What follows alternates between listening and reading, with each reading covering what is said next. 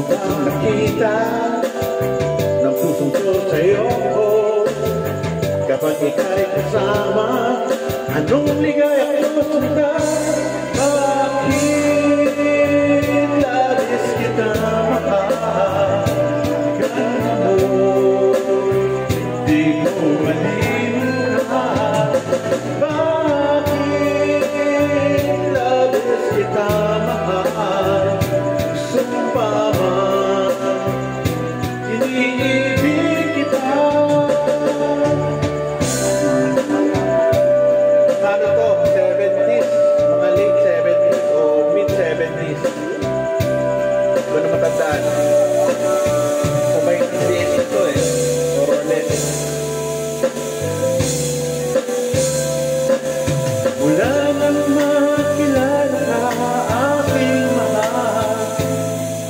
mo mapalagay